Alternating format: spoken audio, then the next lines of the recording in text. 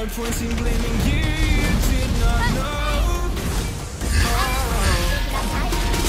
Oh.